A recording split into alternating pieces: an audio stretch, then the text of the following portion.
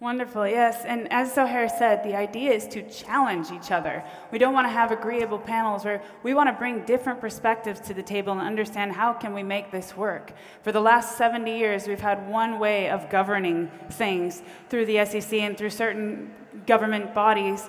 And now we have new ways, and it's like trying to fit a round peg into a square hole. We must have these conversations converge and push each other to get in uncomfortable positions to have those conversations. So let's challenge each other today let's bring that real talk to the table, like Zohair was telling you. And we're so excited to have those conversations.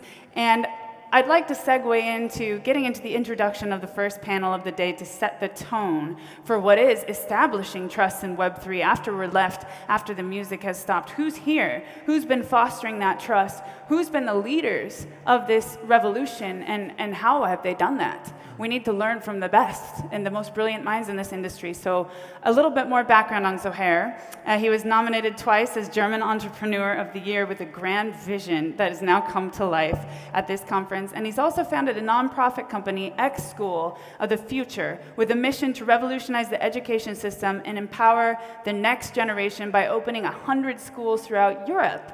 And that is absolutely incredible. Education is one of the most important parts of spreading this narrative. And as we segue into the fireside chat with Yat Siu, none other than Yat Siu, the prolific entrepreneur, investor, and industry leader, world leader in entertainment, gamification, and blockchain innovation, you know, Yat is, is just such an industry, he's, he's a trailblazer.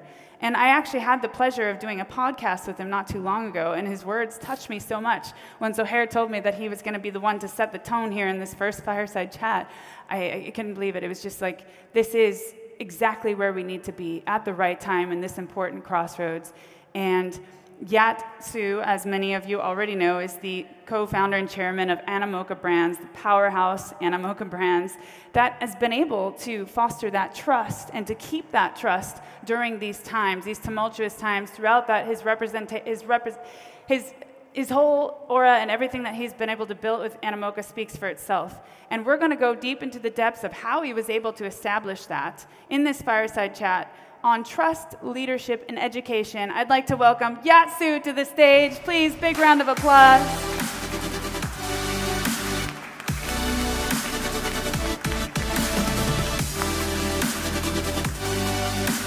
Welcome, man. Nice having you again.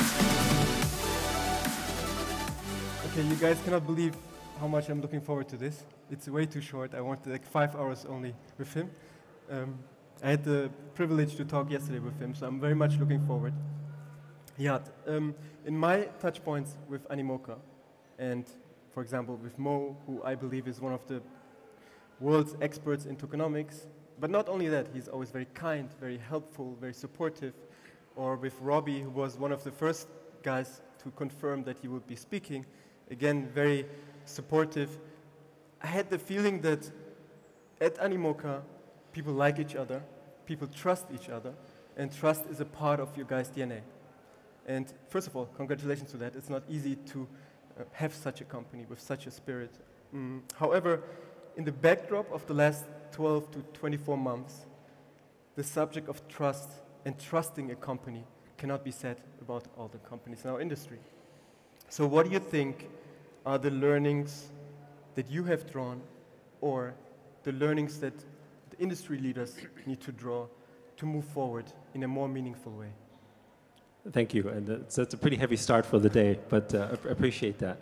So, first of all, yes, I do count ourselves very blessed. We have a great team uh, that really sort of believes in this vision. So, I'll start with that because I think that's what the industry generally needs to think about is when you think about building any business, it doesn't have to be related to Web3. It's why you're building it. What's the mission? What's the purpose? We believe in the future of Web3 that it creates more equity, that we have more stakeholders for all, uh, meaning that we think we can also solve capitalism, the problems of capitalism, because everyone can own a stake in the network that they have. And so the effect would be that we share in the network effect that we co create. Now, if you believe in that vision, that's a really big vision, still playing itself out. And the people that join you, if they believe in that vision, then they're actually joining a purpose that is bigger than their own mm-hmm. right? It's, it's, a, it's not just a vision, it's what you want to see happen. Even if we fail, we can say we have tried our best to make a change in the world, to make an impact that has a purpose. And I think one of the challenges that a lot of times happens, and again, I wouldn't say this is only in Web3 and crypto, this happens in the finance industry, other industries, energy industry, is that you have a number of actors that see an opportunity and then take advantage of it. They take advantage of it, but they have only one purpose themselves, which is to make money for themselves. And that basically creates some of the problems that we've had in the past. Um, and particularly because of the way capital forms in Web3, it has brought forward, frankly, some of the ugly things about capitalism, which we have seen before. Stock markets, Lehman crisis, even you know, um, you know, back, you know, back in the early days when the stock market came out in Amsterdam or you know, a British East India Company, hundreds and hundreds of years of examples of capitalism can be a force, is a force of good. It drives innovation and entrepreneurship. But the flip side of capitalism can also be ugly because people take advantage and so on. And so I think that's really what we as an industry need to do is we need to appreciate why we're here, that we're building for impact and purpose. And if you can see the long term for it, then you'll build towards it. You won't think about, you know, making a quick buck. I mean, for, for, for, our, for instance, um, at the peak of our industry in 2021, you know, our token positions were worth $16 billion. It's a lot of money. We didn't sell any. Maybe that was stupid. But why didn't we sell? We didn't, we didn't sell because we believed in the future of the governance of these tokens. In other words, if you want to have a say about how the industry can work better, then we need to hold on to these votes. We can't just sell it, right? But if you're thinking just about making money, then obviously the logical thing is to sell. So it, again, it draws down to the question as to why you're here and what, what your purpose is. Great. And what does this mean specifically for your future investment decisions? Well, I mean, for us, we're thinking, to me, I look at Web3 a little bit like going back to the future, as it were. Because for those of you who know a little bit of my background, you know, um, I was there for Web 1, I saw the problems in Web 2. And Web 1 was all about decentralizing and democratizing access to information, open source, you know, all these things that we sort of believed so strongly in. And to me, Web3 is that same promise, except supercharged, because now we have also financial knowledge, financial literacy, and value attached to it as well.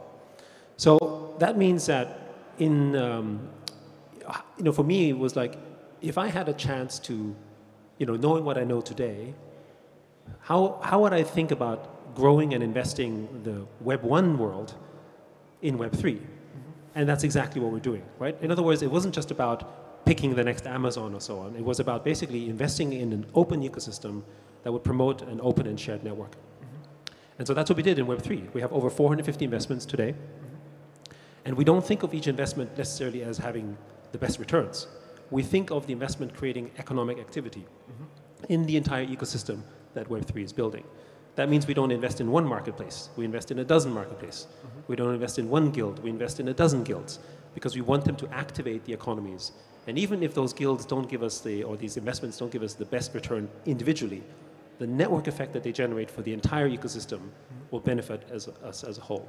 So it's almost like how does a nation invest in its country, mm-hmm. you know, it doesn't think of the return in the individual company, it thinks of the ecosystem as a whole. So that's basically been our approach. Okay. So talking about nation, has your viewpoint on investing in a certain type of founder changed given the last 12, 24 months? So for us, it hasn't changed how we look at founders, but I would say it's been easier to find in a bear market than in a bull market, right? Because in a bull market, everyone will say the right thing, but uh, and money comes easily. But in a bear market, it's not just about saying the right thing, it's about doing it, and it's about persevering. One of the challenges in a bear market is you have to keep building, and if you can't actually raise the money, then you have to make sacrifices, mm-hmm. right? You have to cut costs, you have to change your lifestyle, you have to do things. And this is the big quest, this becomes a big question. Is the purpose that you're building for bigger than you? Mm-hmm. If it's bigger than you, the sacrifice is okay. You can maybe move to a small apartment, or you can maybe see your friends less, or maybe you're willing to move to a new country because the purpose is that important. Or maybe it's too much for you. Then maybe that wasn't for you. And that's not wrong. People sometimes meander around the world and discover their life purpose, and it may take many tries until they find it. And it's these times where you can find those. Our biggest early successes came when we made all of these investments in 2018. OpenSea, Axie Infinity, required the sandbox, Dapper Labs, you know, Wax, Decentraland. 2018 was much worse than today. Bitcoin was like $3,000. Ethereum actually at one point was, I think, $80, right? I mean, that was a really bad market. But there were people building for NFTs, building marketplaces, believing in the future of Web3 gaming in 2018, 2019. Those are the jewels. Because, you know, and maybe this is one of the challenges. Maybe we're too early, mm-hmm. right? This was, you know, people didn't say it wouldn't happen. People just said, are you 10 years too early? And timing is very hard to capture. But if you have conviction, then timing almost doesn't matter, I would feel, because even if it would take five years longer, we would still be right, we think. So, talking about timing and conviction, in the backdrop of, of what has happened recently with the US, putting a lot of obstacles, what is your view on the US, the global regulatory landscape, and um, could the US be a game stopper for our industry? So, I don't think the US is a game stopper, um, because I actually think everyone already suspected it, but the US has, or in this case, not the US, it's not correct to say it's the US as a whole. I would say the SEC specifically has absolutely shown its hand. Which means that I think, in my view, the world now understands their position very clearly. Whether they win or not, because remember, these are allegations, is a question mark, but it means that the rest of the world has already discounted the US activity. So to me, I feel like nobody's, you know, nobody in the world is building a business around the US market. Nobody's thinking about, thinking about launching a token in the US. Nobody's even thinking about launching certain type of crypto-related projects there. It is unfortunately dead. But it also means we factored it in. And I think everyone already accepts that this won't change in six months. Everyone's thinking the earliest maybe after the election, right? So 18, 24 months. So it's all baked in. So, you know, whatever the prices are, we now understand the US is not a part of it. So to me, that's a good sign because that means whatever downside we thought the US was going to give, it's already out there, right? It's like when FTX happened, when Three Arrows happened, you know, when Terra happened, when all these things happened, there was a shock, there was an adjustment, and then afterwards there was a, okay, life goes on. And this is, I think, the incredible strength of the resilience of our industry. The last 12 to 18 months, including macro events like war and inflation, and yet the industry is still here and growing and excited. So to me, I think that's just a very strong sign. Now, the other thing to look at is we're based in Hong Kong. Hong Kong has been super crypto forward if you compare it to other places around the world. Uh, it's really interesting that not only have they approved retail trading for certain tokens, interesting enough, the same tokens that the SEC has alleged are securities, uh, China itself has come out with a Web3 strategy paper the day after and on national TV. So this is the other thing. The national TV broadcast about Bitcoin and Hong Kong to all the citizens in China. Now, to me, this is not a coincidence, right? It's something that is interesting about how that's being developed and what message China is trying to tell the world as well, not just in China, about what they want to do in the world of digital assets and Web3. Japan has made Web3 part of their national strategy. Of course, we know about UAE, and even Europe has come out with rules, you know, with, with MiCA, for instance, around, around digital assets, which is you know, much more progressive than the US. My final thought on this is that it's not just about us as individuals. It's also about the nations themselves. One of the big reasons why we feel and we see, particularly in Asia, so many countries pushing Web3 is because they think of it as a way to reclaim part of their own digital sovereignty as a nation. All of our technology we use today, including in Europe, is US dependent. It's dependent on Apple, it's dependent on Facebook, it's dependent on Amazon, it's dependent on Google, right? Everything is US dependent. So Web3 could be that way in which you can build new technology platforms, new systems that at minimum are decentralized, so away from centralized power, but serve much more of a national interest of whatever country is involved than being dependent on you know, a third party that doesn't have your national interest at heart. So this is a big agenda item, and that's why so many countries outside of the US are pushing Web3. Do you think from a competitive positioning point of view, it is realistic to build an industry without the US? And will it stay that way, that the whole world will embrace Web3, but the US will be like against it? So it's always, a, I think to me, it's always a mistake to count out the US. So I think the US will come back to Web3 in a big way. So it's just not going to happen in maybe in the next 18 to 24 months. Because one, I don't think the US is going to be willingly giving up its monopolies in technology, so they're going to do that. People used to say that about AI, right? People used to say, you know, US is behind AI, China is going to control it, everything.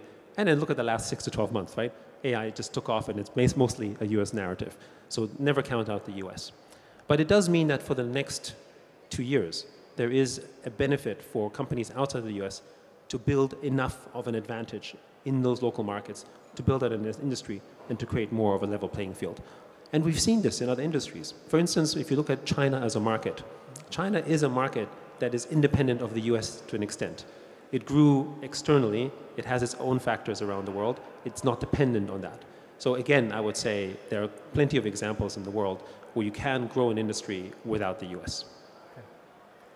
So, one thing that Animoca is famous for is GameFi and NFTs, but you guys are also very big in education. I'd love to touch upon this because this is something that connects X Ventures, X Schools, with, also with the spirit that you guys are representing. And I wonder, because it's a bit unusual, like Web3, but also education, I wonder what is behind it? Can you tell us, like, what is the intention that you are pushing for this? So there are two main strategies in general when we think about why we invest and how we grow the space. So everything has been pushing around things around digital property rights, right? We fundamentally believe that owning our digital property rights is the way in which we can ensure our digital freedom and have the benefit and ownership of all these network effects that accrue on these forms of digital property, which we currently don't own. So how do we do that? Well, this is where NFTs come in. So the strategy has been always around two main things. Creating more network effects on NFTs, more utility, that's one, and two, expanding the market for NFT usage. So gaming was a good example because in gaming, you know, there's 3.4 billion people who play games.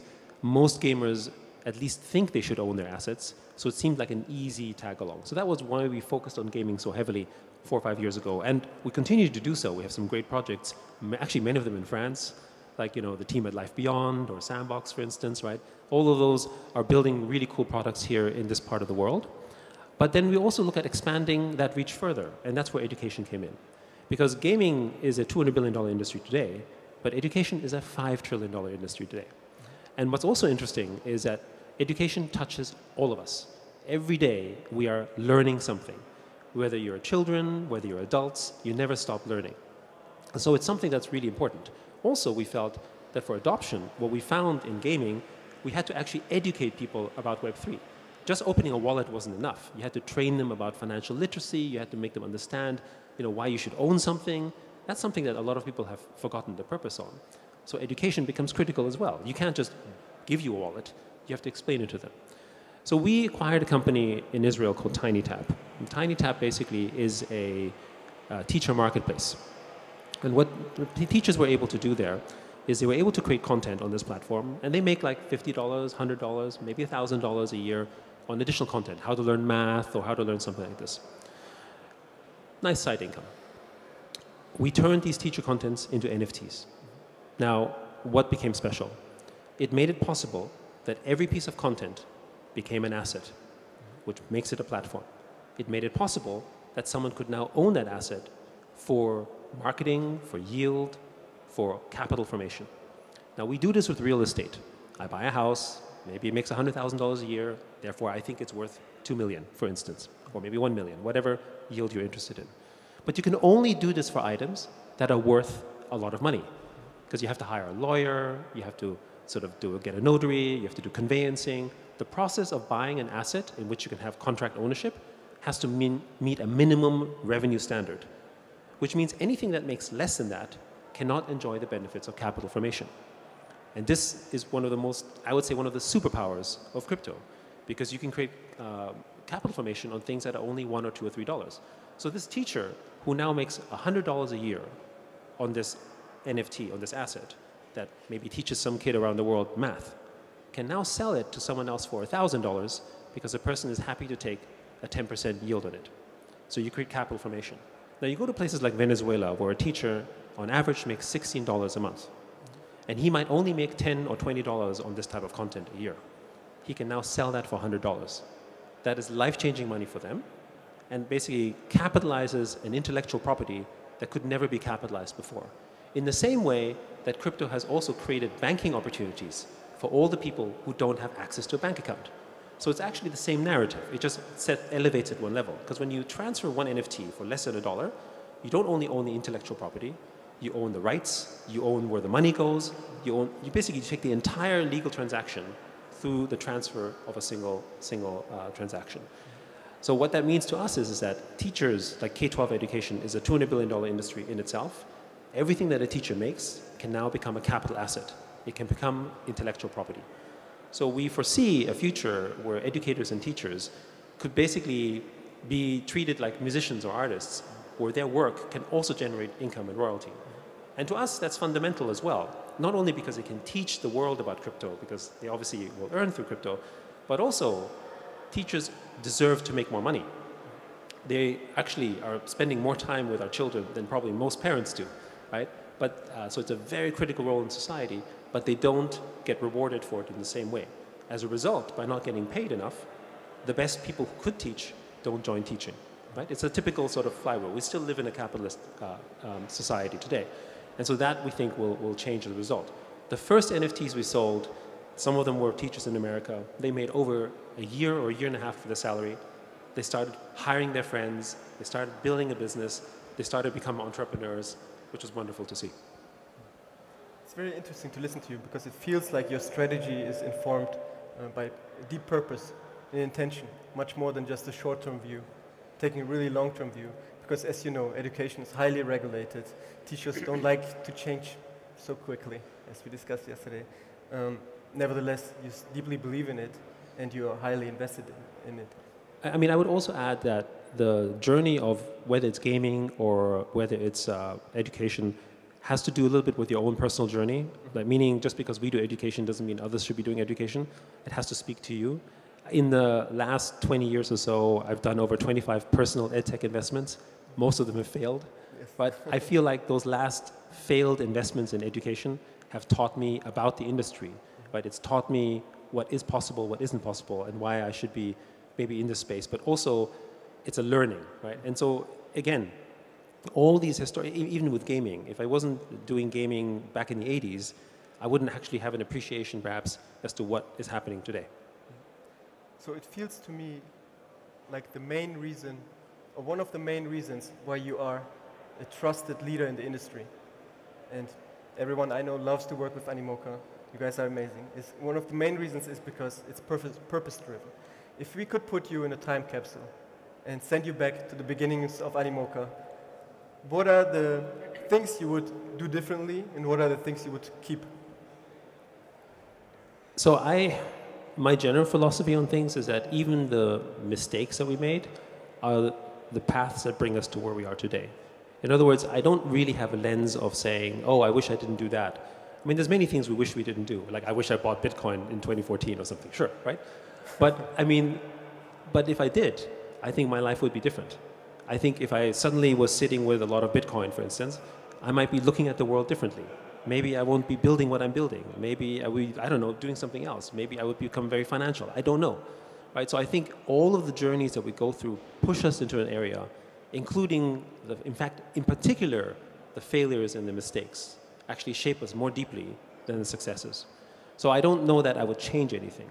But I would say a few things around lessons, maybe, in terms of what we experienced, what we maybe should have considered differently. And I think it relates a little bit to human nature. So when we're trying to, you know, we were one of the first companies to always talk about a multi-chain future. For those who remember in 2018 and 2019, everyone was building Ethereum killers. It was all about the Ethereum killer. But we were like, that doesn't make sense. We should build multi-chain. But the principle why we thought we should build multi-chain was because as content creators, we felt that the only way for a content creator to be really free, to be independent, and to have choice is to have many choices, which means you have to have many chains. And we look at chains almost like nations. Whereas the chain builders were looking at monopoly, they were looking at control. They were saying, bring as much traffic into it so that I become the number one chain and then I dominate and then I can tax you, which is actually a Web 2 strategy. So the thinking around is to identify more clearly who's building really Web 3 has to be someone who believes in a shared network effect, mm-hmm. who believes how the world can look better. In the same way that people who are building in open source, they're those who take advantage of open source. Mm-hmm but they're those who really believe in open source. It's a big difference. It's a slight nuance. Right? I can be a great builder on open source, but do I actually contribute my code back?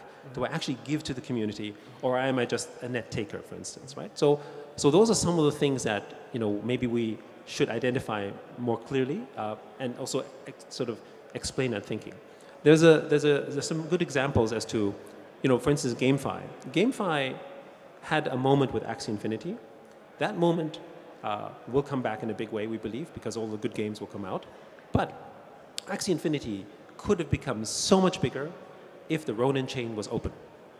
Because what ultimately happened was that Ronin wasn't ready to be open, and so all the network effects were contained only within Axie the game. But what should have happened is that if the network effect was wide open, other game companies, other developers would have started building new products on top of the ownership of Axies, and that would grow as big as it did. Now, we would tell many companies, it includes with Flow and Dapper Labs and everything, the similar story about build open and build, you know, and they all say they will do it, but they didn't do it quickly enough. And the result was that they lost the benefits of the network effect. But the loser isn't only the company that didn't make that quick decision, it's the entire industry. Because when Axie Infinity would grow the way that it did, and if thousands of companies, not just guilds, would build new games and products on top of the ownership of these Axies, we would have a much bigger GameFi industry today, and we would be building a lot more stuff, and we would be more forward to the future as we are right now. And so this comes down to the thing about human nature that you believe in this, but then when there's this moment when all this money comes to you, at that moment you need to have quite a bit of uh, restraint to be able to say, you know what, we're going to still build our mission instead of trying to take as much as we can, right? And that I think has to do with education. Building that mission is so important. Guys, that conversation was absolutely spectacular. Unfortunately, we're out of time for those of you who are watching at home right now, but my God, this was such an incredible conversation. Uh, to be continued. Please, a big round of applause for Yat Siu from Animoca Brands, Zohair, co-founder and CEO of X Ventures. I, I guess we just